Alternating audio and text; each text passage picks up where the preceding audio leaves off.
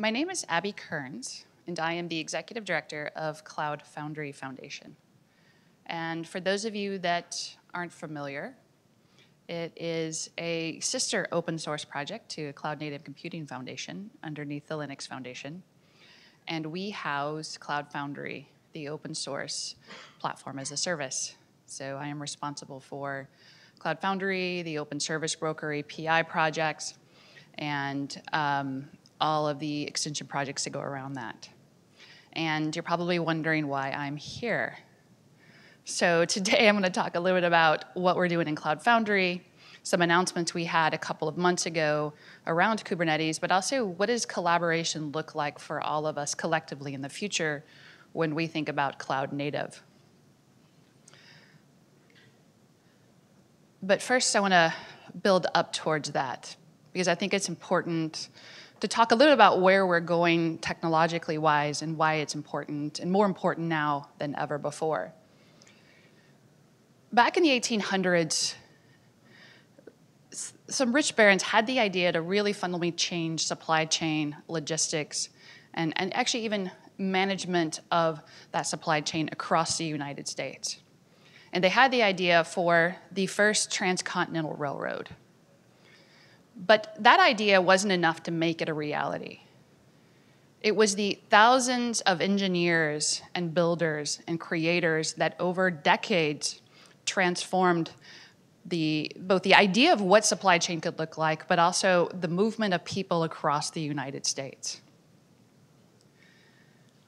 Or in the early 20th century, when an architect had the idea of bringing together the Marin County and San Francisco, which to date had been really, they've been transversing those two areas via boat. And it was very unpredictable, very unstable.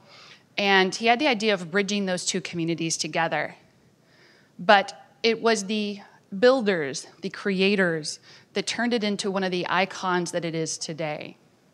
And, and by the way, in order to achieve that, it required a great deal of collaboration beyond just the builders and the architect.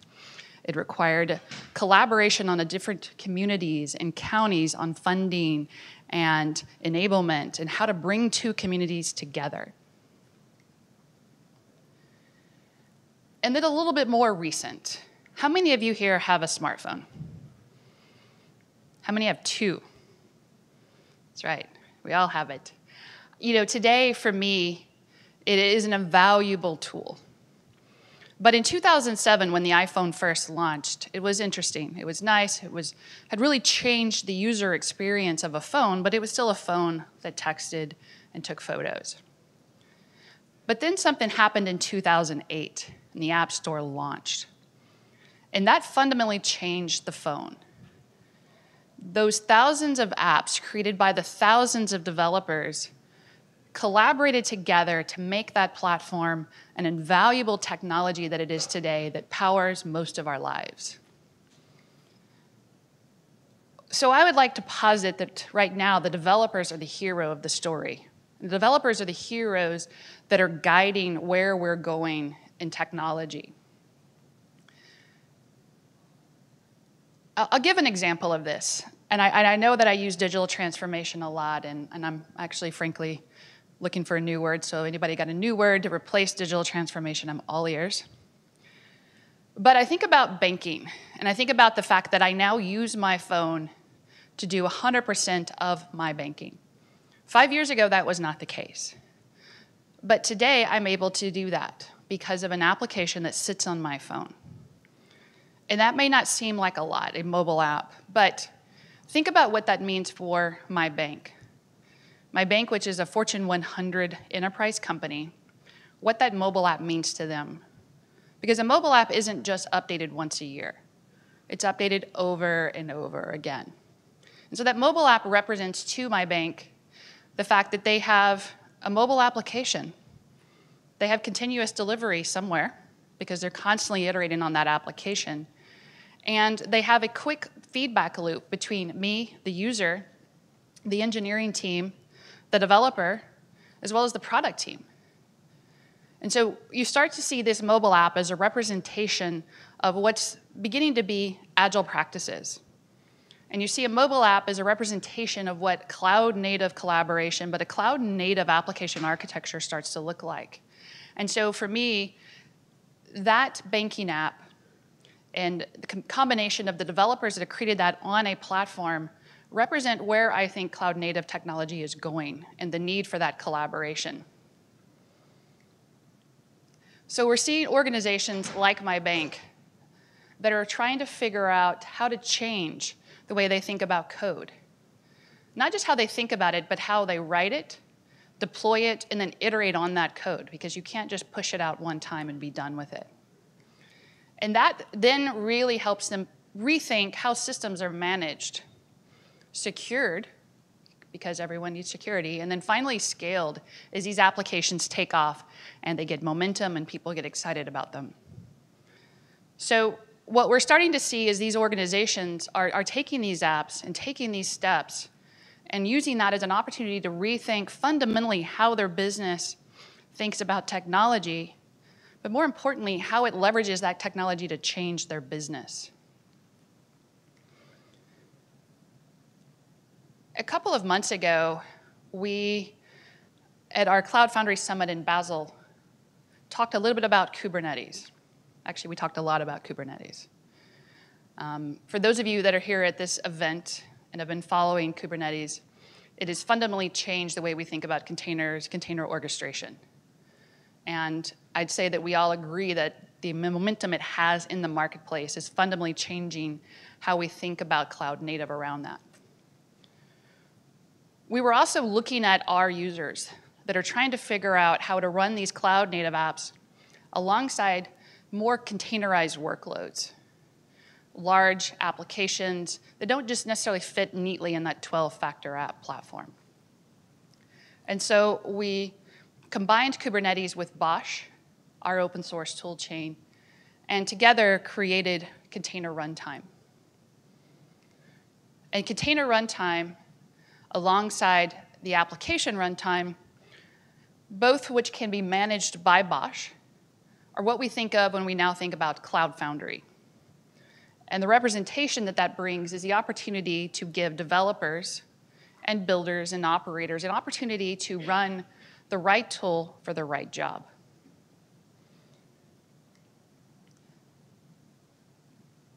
One of the things that is really interesting about Cloud Foundry is that it's open source. The same with Kubernetes. We're at an open source conference. And for me, open source represents opportunity. Opportunity to bring together diverse people from diverse backgrounds across a multitude of companies and organizations to solve really hard problems. And so we think about the power of open source for not just Cloud Foundry Foundation, but also the Cloud Native Computing Foundation and the communities that um, straddle both of those. The opportunity exists to bring people together to collaborate to solve really hard problems in a space that's changing pretty quickly.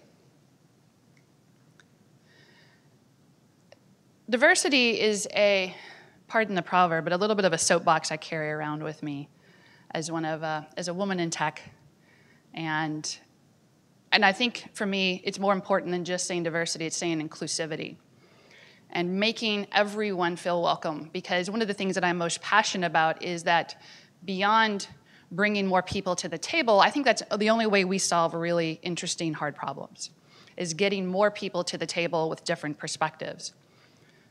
And so my theme today is I really thought about what am I going to talk about at Cloud Native Computing Foundation and Cloud Native Con is really what is the power when you bring together such a broad group of talented people to solve really hard problems and how do we get more of them in and get more voices to the table because I think that's where the power of this collaboration really breaks free. But it also, I think that's where we solve the really interesting problems for end users that are trying to develop applications, but more importantly, are changing their business. So we often talk about collaboration alongside cloud native and open source within Cloud Foundry because for me it's important to give developers the best experience but allow that technology to continue to evolve and take advantage of really new and interesting technologies that are, are coming into the market like Kubernetes. But something you might not know is we collaborate across a lot of different open source technologies today.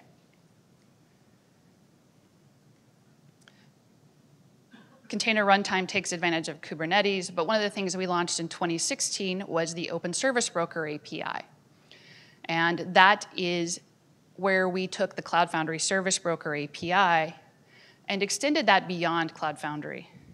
Kubernetes was the first to take advantage of that, followed by OpenShift, and we're seeing more and more companies take advantage of this simple and elegant way of binding a service to an application. But more importantly, we've taken advantage of quite eagerly the OCI initiative and bringing that runC capabilities inside the platform. But then we've also been heavily involved in CNI, which runs in Cloud Foundry, CSI, as we're really figuring out ways to integrate and attach storage solutions to the container, but then also Envoy and Open Tracing. So each of these technologies are areas where we either collaborate and are leveraging today but it also, for me, represents what the power of this collaboration is. I think CNCF highlights the power of bringing together a multitude of technologies that are making cloud native possible. Because it isn't just about creating an app, it's about managing that app, scaling that app, managing the services around that app, being able to address your concerns in your organizations, and making that possible for you to do at scale. So one of the things that I'm most excited about is the fact that all of this is available in open source. And so that each and every one of you can not only take advantage of the technology and pulling it into your existing solutions, but more importantly, that you can participate in these technologies. So going back to bringing more voices to the table, when we think about the power of open source and the power of cloud native, it's getting more voices to the table. If you're building agile teams, what are you doing? You're asking more voices to be heard the voice of the user, the voice of your customers, the voice of your operations team, your DBA, security, compliance, network. You know, the list goes on for people that you want to hear and have a voice and say and how applications are created, managed, and scaled. So when I think about Cloud Foundry, and we talk a lot about where Cloud Foundry is going and how it's evolving, we're combining these best of breed solutions either through the open source, so getting more voices to the table and building that bridge for other people to participate and bring their ideas, but also the collaboration on the technology aspect. We've started with container runtime and application runtime, but there's so much more potential to bring these technologies together, to build on and innovate, to allow these technologies to get to scale.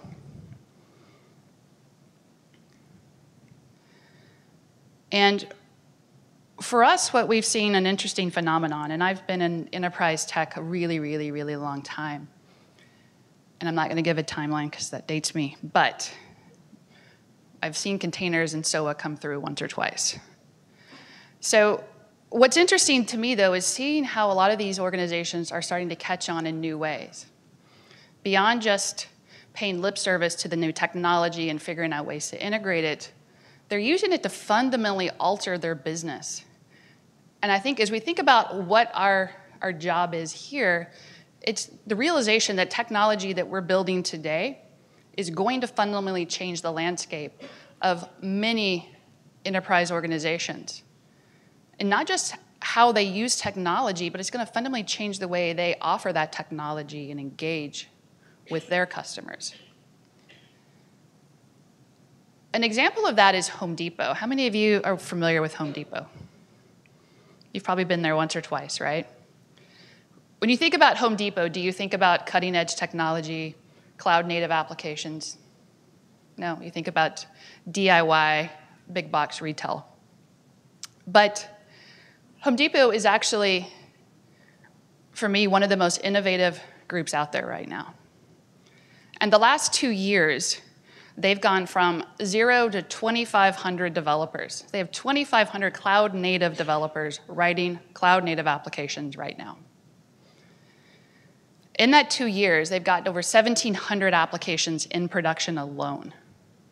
So they are revamping their backend, they're revamping their point of sale, but also the e commerce tool rental, and many other technologies. They are bleeding edge for a lot of these new technologies in the retail space. They're getting currently over 2 billion requests a month across their platform. And for them, the fundamental change didn't come just from being able to develop the applications, but it also came from them being able to do one deployment every six months for a single app. So now they're doing deployments every half hour. Think about the change that gives to you as an organization when you can deploy a new application to production during business hours every half hour. That changes your teams, that changes the way you think about technology, but it changes what you think your potential is as a company. And by the way, their, their stock price is showing that. Their stock price continues to go up. It's the highest it's ever been. And when I think about the role cloud native plays in companies like that, we'll see a lot more of that. We'll see a lot more of companies like Home Depot and Comcast and Ford Motor that are fundamentally changing the way they think about these technologies and what they're doing with them. And by the way, one of the most amazing things about Home Depot is they took this idea of building developers and creating developers and created boot camps. So now that they take team members and train them on how to be a developer. And as we think about the shortage we have today in cloud native skills, cloud native developers, a company that can really think about Agile, think about cloud native, and then turn that into an opportunity for their entire organization is a really powerful statement on the role technology continues to play in the evolution. Now, I couldn't be up here and not brag a little bit about our community. So I have to give the, the plug, one of which is sitting here, Suze. Hi, Suze. Um, we have nearly 70 members in Cloud Foundry Foundation. One thing I'm most proud of, though, is over 40% of our member base are our end users. So companies like Home Depot and American Airlines are leveraging this momentum to not only use open source, but give back to open source. Over the last two years, we've had over 110,000 commits, nearly 7,300 pull requests, and that's across 513 repos. Cloud Foundry is very big and very complex. And we continue to be excited about the momentum, the velocity, but the involvement by a variety of companies that continue to make it the best technology possible. Earlier this year, we also launched a Cloud Foundry certified developer training and certification program. To date, we've had over 10,000 people sign up for the training and certification, and continue to see organizations like Volkswagen and Home Depot and many others take advantage of that to build their cloud native teams. So, as I leave you here today, one of the things that I think a lot about is how do we take what is so special and amazing about open source and carry that forward beyond just our technology companies but to the variety of companies that are just starting to think about technology in new ways. And so I think a lot about building community, getting more voices to the table in our community, and getting more people excited about open source and cloud native. And how do we continue to build those bridges with other communities that are doing really cool stuff, like the Kubernetes community, Envoy, Open Tracing, gRPC, and many other projects. So I would invite you that are here to join our community or come to one of our summits. Our next one will be in Boston in April. Um, you can also run the Boston Marathon at the exact same time. So you could do two things at one time. But I want to leave you with that I think cloud, cloud native and the momentum around open source are just going to continue. And I'm super excited to see that growth here at Cloud Native Con. And I'm excited to see so many faces here that want to learn more about our collaboration efforts. So thank you.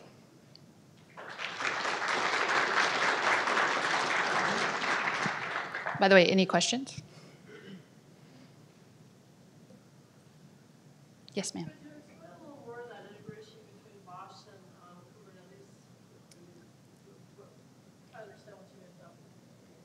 That's a great question. So Kubo, and the question was explaining BOSH and Kubernetes. Kubo, as it was fondly named, is Kubernetes on BOSH. And that was formally donated, it was originally created by Google and Pivotal in uh, late 2016, early 2017 and it was formally donated to the Cloud Foundry Foundation in June of this year. And Kubo was a really confusing concept, and so and having that part of Cloud Foundry as a whole was really confusing. And so what we aimed to do was build a bigger story. So we renamed it in October Container Runtime, so that you have the opportunity to run containerized workloads with, on, within Kubernetes alongside your cloud native apps that are running on top of Cloud Foundry's Elastic Runtime in the same environment, orchestrated by the same tool chain, and you have that opportunity to choose the right tool for the right job and make it easier for your operators. Make it easier for your operators to spin up the VMs, to scale the VMs, to patch it, to handle security and identity management and all of those feature functionalities you can now wrap into a single platform because we've always advocated that it is the right tool for the right job. And Elastic Runtime isn't the right platform for every single application. And more often than not, enterprises need that path forward to say, how do I make take baby steps to get to 12-factor apps, microservices, even serverless at some point, just how to giving people that path. Any other questions? Yes.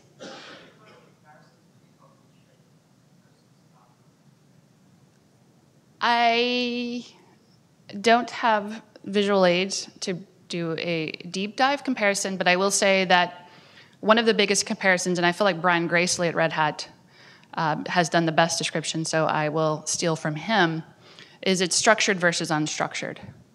And having the piece components in, in one platform versus a highly opinionated structured components in another platform. There are some similar technology, technologies like the Open Service Broker API and uh, now Kubernetes. But there's a lot of, uh, of differences in terms of other technologies that are used within Cloud Foundry that are not necessarily a one-for-one -one match in OpenShift. Any other questions? All right, well, thank you all for your time.